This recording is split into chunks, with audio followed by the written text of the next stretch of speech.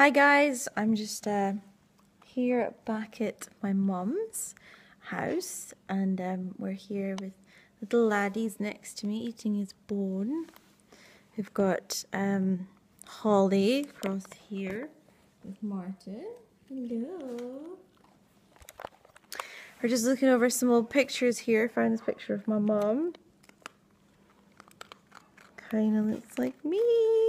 And uh, mum's in the kitchen um, doing something, I'm not sure, cutting up something for the doggies.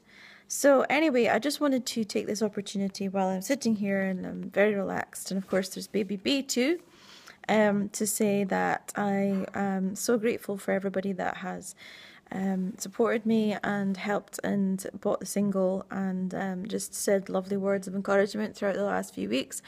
Um, I know I don't always say the right thing sometimes, so I don't always please everybody out there, but I do speak my mind. I will wear my heart on my sleeve. I always will.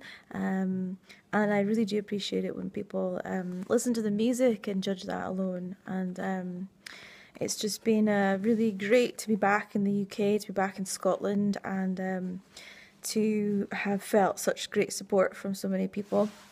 And also to have made some really cool, interesting new friends through um, the events of the last few weeks, like Mr. Danny Dyer on EastEnders, and um, Chris Moyles, um, Jodie Marsh.